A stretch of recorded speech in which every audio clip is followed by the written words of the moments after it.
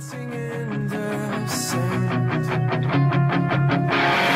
The salt my wounds and allow me to believe. Now you know that this was all a